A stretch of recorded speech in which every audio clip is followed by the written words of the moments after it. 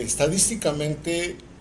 la historia es que las tormentas tropicales que se producen